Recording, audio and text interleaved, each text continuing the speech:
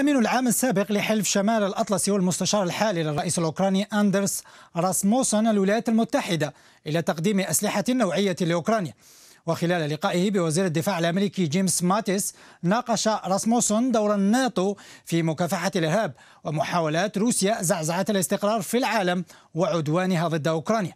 من جانبه شدد وزير الدفاع الأمريكي على أن موقف واشنطن تجاه موسكو لم يتغير.